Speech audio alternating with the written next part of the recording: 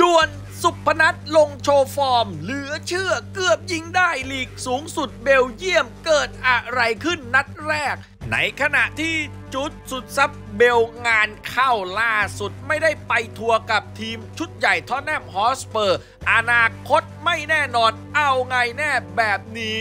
ส่วนบอลเดือดต่อยหน้าหงายบ้าไปแล้ว สาวหมัดไม่มียั้งล่าสุด นัวกันมั่วไปหมดทั้งหมดนี้ติดตามไม่ไหนแตงโมลงปียพงษ์ยิงครับ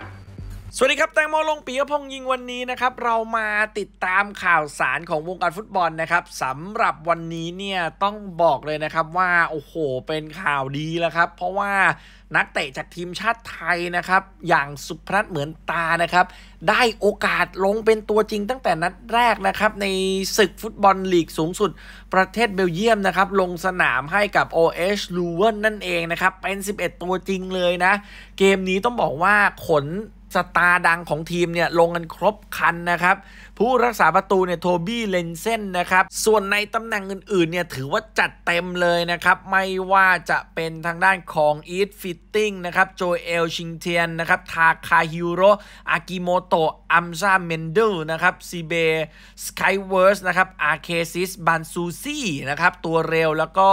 มาติเยอร์แมเทนกับตันทีมยูซุฟมาซีดวันนี้เล่นไม่ค่อยดีเท่าไหร่นะครับสุพนัทเหมือนตาลงเป็นตัวจริงนะครับ แล้วก็โคนันเฮนดรีนั่นเองนะครับ วันนี้ต้องบอกว่าทางทีมของสุพนัทเนี่ยออกจะ แหมเล่นแบบติดติดขัดขัดพอสมควรเลยนะครับอะแต่ก็ถือว่าได้ประเดิมสนามที่เป็นโอกาสของเจ้าตัวนะฮะ ถือว่าได้โชว์อยู่ เกมค่อนข้างเงียบเหงาสำหรับสุพนัทในช่วงครึ่งเวลาแรกนะฮะ เพราะว่าไม่มีใครร่วมเล่นด้วยเลยนะครับ ส่วนมากเพื่อนๆเนี่ยไปเล่นเกมรับกันหมดนะครับ คือเหมือนกับว่าพอตั้งรับเยอะแล้วเนี่ยเน้นมีแต้มนะครับ เน้นไม่ผิดพลาด ก็ทำให้สุพนัทเนี่ยยืนอยู่ข้างหน้าอยู่คนเดียวแบบนี้ฮะโล่งครับซ้ายขวาหน้าหลังไม่มีใครแน่นอนนะครับเพราะฉะนั้นแล้วเนี่ยถ้าหากว่าจะเก็บบอลไว้เนี่ยแล้วทำเองเนี่ยก็เป็นอะไรที่ค่อนข้างยาก แต่ว่ายังไม่ค่อยเห็นจังหวะเก็บบอลของสุพนัทหรือแม้แต่เพื่อนขึ้นไปริมเส้นเนี่ยจังหวะเปิดจังหวะอะไรเงี้ยก็ไม่ค่อยดีเท่าไหร่ สุพนัทก็เข้าชาร์จ แต่ว่าไม่เจอบอลนะครับคือในภาพรวมเกมเนี่ยมักจะเป็นแบบนี้ แต่ว่ามันมีอยู่จังหวะหนึ่งที่สุพนัทเหมือนตาเนี่ยน่าได้มากที่สุดเลยนะครับนั่นคือช่วงนาทีที่ 27 ครับทางด้านของมาซีดเนี่ย จ่ายมาให้แต่สุพนัทเนี่ยไม่ได้เลี้ยงลายเอาไว้น่าเสียดายครับ แต่ยิงสวยเลย หลุดมาตรงนี้ครับ น่าจะเป็นประตูของสุพนัทเหมือนตาเนี่ยตรงนี้ฮะแล้วยิงสวนผู้รักษาประตูไปแบบดีเลย มุมแคบไม่มีมุม ใครเห็นก็แบบโหคิดว่าลูกนี้ในเข้ายากแต่ว่าทำได้ พอทำได้เสร็จแล้วผู้ตัดสินก็มาตีธงล้ำหน้า ซึ่งมันชัดเจนอยู่แล้วมันก็ยากนะครับอะแต่ไม่เป็นไรถือว่าได้โชว์มีซีนหน่อยนะครับ หลังจากนั้นเนี่ยมาซีดแกก็ เป็นศิลปินเดี่ยวอะไม่ค่อยส่งให้ใครนะครับ ดึงตัวมาต่ำแบบนี้สุพนัทนะครับ แต่แกกลับยิงเองเลยไม่ได้เปิดด้วยนะ เพื่อนอีกคนนึงอยู่เสาสองเนี่ยขอ แต่ว่าแกก็ไม่ได้ส่งแกก็ยิงเองนะครับอะแล้วก็จบเกมนะฮะคือในครึ่งแรกเนี่ยเสมอกันอยู่0ูนย์ครึ่งหลังมาเล่นสุพนัทเล่นไปแป๊บเดียวก็ถูกเปลี่ยนตัวออกนาทีที่ 58 นะฮะ เพราะฉะนั้นแล้วเนี่ย ถ้าดูแล้วเนี่ย โอกาสในการสร้างสรรค์เกมเนี่ยมีน้อย แต่ว่าไอจังหวะที่โชว์เนี่ยก็โชว์ให้ได้เห็นนะว่ามีอะไรบ้างเหมือนกัน แต่สุดท้ายแล้วมันก็ไม่เพียงพอหรอกถ้าโชว์แค่นี้กับการลงสนามเป็นตัวจริง เพราะฉะนั้นแล้วถ้าหากว่าได้รับโอกาสแบบนี้ก็อาจจะต้องเพิ่มเเรื่องของบทบาทในการลงสนามหรือส่วนร่วมในการช่วยเพื่อนร่วมทีมนั่นเองนะครับ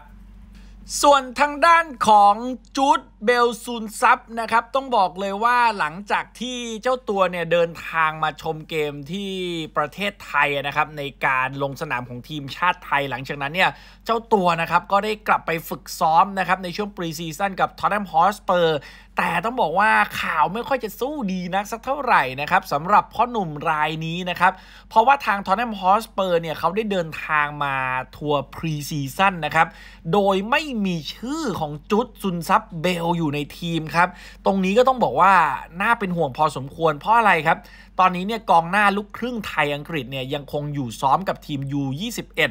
ล่าสุดเนี่ยถ้าลองวิเคราะห์กันดูนะครับ ถ้าอยู่ฝึกซ้อมกับ U21 ในขณะที่ทีมชุดใหญ่เนี่ยเขามาอุ่นเครื่องที่ประเทศญี่ปุ่นเนี่ยนะครับแหมแบบนี้เนี่ย มันดูแล้วเนี่ยมันเหมือนกับว่าไม่ได้อยู่ในแผนการดันขึ้นชุดใหญ่หรือเปล่า เพราะล่าสุดเนี่ยเพิ่งจะอุ่นเครื่องเสมอกับอัลอิติฟากจากซาอุดีอาระเบียไปด้วย 2-2 นะครับ อีก 1 เกม ด้วยความที่สเปอร์เนี่ยมีแนวรุกชั้นยอดนะครับ มากมายหลายคนก็มองว่ามันไม่ใช่เรื่องแปลก ที่เขาเนี่ยจะไม่ได้ถูกติดสอยห้อยตามไปที่ทางด้านของประเทศญี่ปุ่นด้วยนะครับ แต่ก็อย่าลืมนะครับว่าถ้าหากว่าไปย้อนดูในทีมแล้วเนี่ยมันยังมีผู้เล่นคนอื่นๆแหละครับที่อยู่ในชุดเยาวชนนะครับ ติดสอยห้อยตามมาด้วย นั่นหมายความว่าคนอื่นมันดูจะเข้าที่เข้าทางมากกว่าหรือเปล่านะครับ ในการทัวร์เอเชียอย่างเงี้ยมีเพื่อนร่วมรุ่นอย่างวิลลังเชีย เจมี่ดอนคีนะครับ ซึ่งในตำแหน่งกองหน้าเหมือนกันมาเฉย อ้าว แล้วอย่างนี้จะให้คิดยังไงอะครับ และล่าสุดเพิ่งลงสนามไปเนี่ยครับ เจอกับทางด้านของวิเซลโกเบนะครับ หลายๆ คนเนี่ยมีโอกาส ได้ลงสนามซะอย่างนั้นนะครับ เรียกได้ว่าทุกคนเลยก็ว่าได้นะครับ ว่าแบบนี้เนี่ยมันก็พอจะพูดให้เห็นภาพกันเลยว่าทางด้านจูดเบลเนี่ย ฟอร์มยังไม่เข้าตาอังเก้โปเตสโคคู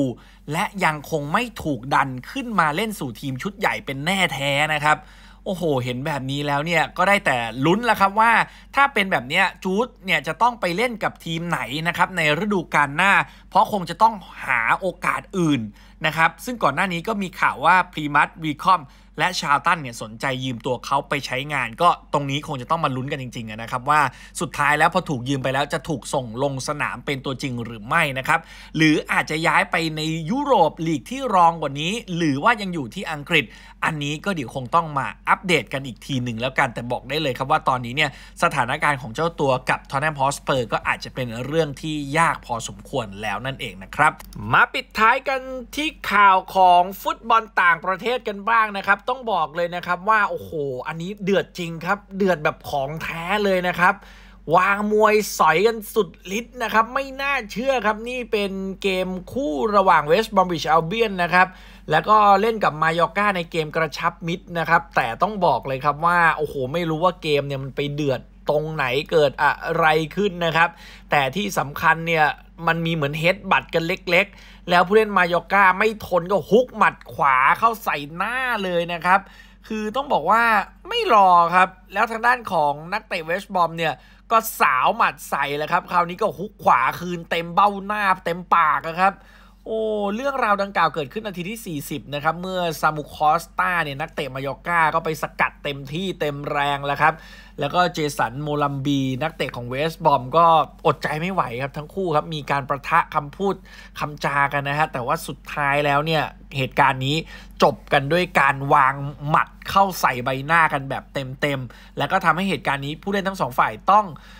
ถูกไล่ออกจากสนามนะครับ แล้วก็มีการห้ามปรามกันอย่างยกใหญ่นั่นเอง โอ้โห นี่ก็ไม่น่าเชื่อนะครับ นี่หลายเกมแล้วนะ ไม่ได้เห็นเกมกระชับมิดแบบนี้เนี่ยแค่เกมแรกนะ ตอนนี้เนี่ยชักจะมีเหตุการณ์บานปลายแบบนี้เกิดขึ้นหลายต่อหลายเกมนั่นเองยังไงก็คงจะต้องติดตามดูนะครับว่า